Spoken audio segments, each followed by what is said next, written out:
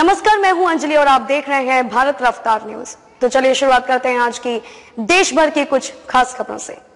वाटिका marriage home Bulandshahr में मुख्यमंत्री सामूहिक विवाह का योजना के अंतर्गत विवाह समारोह का आयोजन किया गया, जिसमें जिलाधिकारी रविंद्र कुमार द्वारा प्रतिभाग करते हुए नव विवाहित जोड़ों को आशीर्वाद दिया और उनके उज्जवल भविष्य की कामना की। विवाह समारोह में कुल 40 जोड़ों का विवाह संपन्न कराया गया, जिसके अंतर्गत 27 जोड़ों का हिंदू रीति रिवाज से पंडितों द्वारा विवाह संपन्न कराया गया और 13 मुस्लिम जोड़ों का मौलवी द्वारा निकाह कराया गया।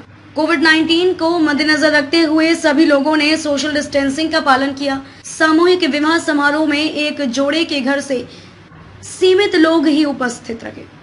जिलाधिकारी ने बताया कि शासन द्वारा एक जोड़े पर कुल इक्यावन हज़ार रूपए खर्च किए जा रहे हैं, जिसमें से पैंतीस हज़ार सीधे वधु के खाते में डाले जा रहे हैं और दस हज़ार रुपयों का शासन द्वारा विवाहित जोड़ों को सामान दिया जा रहा है। एवं छह हज़ार रूपए उनके घर परिवार के लोगों पर खाने पीने में खर्च किए जा रहे हैं। विवाह कार्यक्रम में उपस्थित रही सदर विधायिका उषा सिरोही, समाज कल्याण अधिकारी नागेंद्र पाल, खंड विकास अधिकारी बुलंदशहर सहित अन्य जिला स्तरीय अधिकारी उपस्थित रहे। बुलंदशहर से इलियास अली की रिपोर्ट।